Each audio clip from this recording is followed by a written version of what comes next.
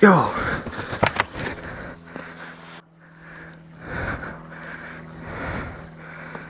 Uh-oh.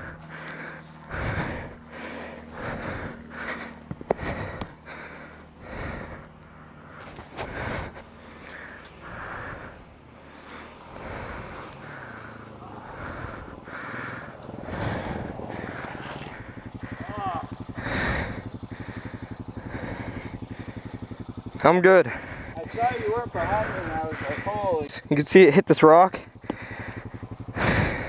Is it not coming up the hill?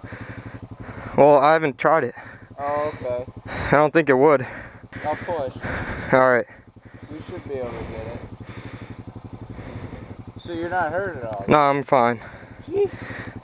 It spun around like that? Yeah, like I was coming right here and I tried to turn right. Huh. Uh, Alright, well, let's try and get it out of here.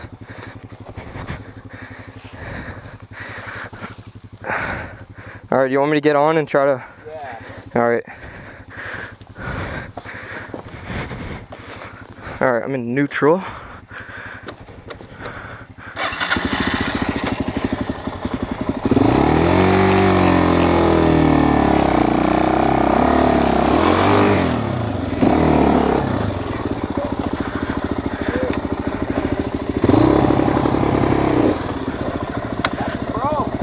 What?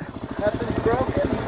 Yeah, I got out there and I was like, oh shit, he's not behind me. Wait, hold on. My phone flew off. oh no. It's got a camo case on the back too. You might want to like. Yeah, I can call it. I don't think the ringer's on though. Oh. If I hit sideways, it's right there. It probably would have launched. Let me take my helmet off. I don't know how that even came loose. Oh, here it is. The front's black and the back's camo, so you could have been screwed.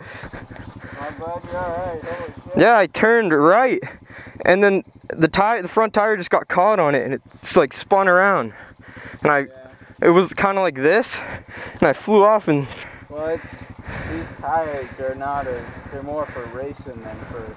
yeah, like I lowered the psi, but the I think the front is higher. I don't know.